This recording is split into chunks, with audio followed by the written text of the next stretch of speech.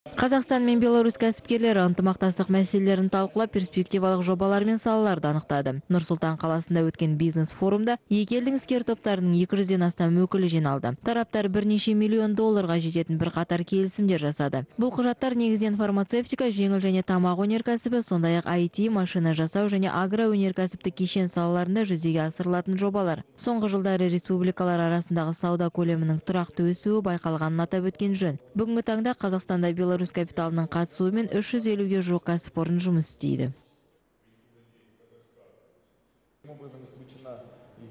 Казахстан ждет инвестиций в сфере э, машиностроения. Это, конечно, в первую очередь. К- э, Қазақстан Белоруссиядан машина құрастыру жеңіл өнеркәсіп салалары бойынша инвестиция күтіп отыр. Керісінше Қазақстанда қаржы құюға дайын бірқатар жобалар бар. Олар негізінен агроөнеркәсіптік кешен мен жеңіл өнеркәсіпке қатысты. Биыл және келесі жылы жүк көліктерін құрастыру бойынша бірлескен жобаларды жүзеге асыру жоспарда бар. э, В этом, на следующем году строительство, строительство совместного производства а, м, БелАЗа, самосвала.